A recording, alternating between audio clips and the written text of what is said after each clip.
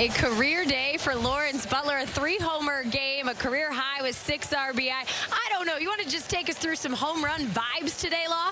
I mean, I mean, we showed up to the field today. You know, everybody was in good, good mood, good spirit. So I mean, the barrels were just hot today. It was just one of them days for the guys. Oh, just one of them days for the guys. One of them days for you, my man. You got All-Star Mason Miller flexing behind you. You were doing the flexing today. A little backside boogie, also poolside pop. Talk to us about the adjustments you and Bush have been grinding out in the cage for you to get to this point right now. Second time, second tour here with the boys. Uh, you know, just just keeping it simple. You know, not trying to do too much in the box. Uh, you know, when I get a pitch in the zone, I'm just really just trying to put the barrel on the ball and you know let let everything else you know work itself out. So right. that's really what me and Bush have been working on. You know, just trying to keep my moves simple as possible and you know just just staying within myself.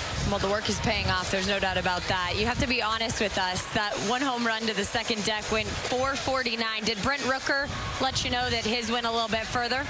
and I actually, actually before that, uh, Brent gave me like a real, like a real good inspirational talk about you know just how I'm feeling right now. So you know I, I really do give a lot of credit you know to him on that last one. You know he kind of he kind of got me in the mode you know to go back up there and you know, and, you know just put up another good at bat. Well, Law, we see that smile on your face, my friend, and that right there lets us know just how much fun you've been having. And you are one of those performers that when you're smiling out there, we know you're having fun. We know things are going well. Congratulations on a hell of a day at the plate, and we can't wait to see what you have in store for the second half, my friend. Yes, sir. Appreciate you, Dallas. Appreciate you, Jenny. Have a great All-Star break. All right.